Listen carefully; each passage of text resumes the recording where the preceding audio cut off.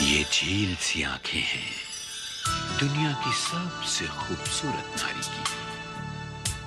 Beauty contest में आपसे तरह तरह के सवाल पूछे जाते हैं। जैसे जाते वक्त इस दुनिया को क्या देकर जाएँगी आप?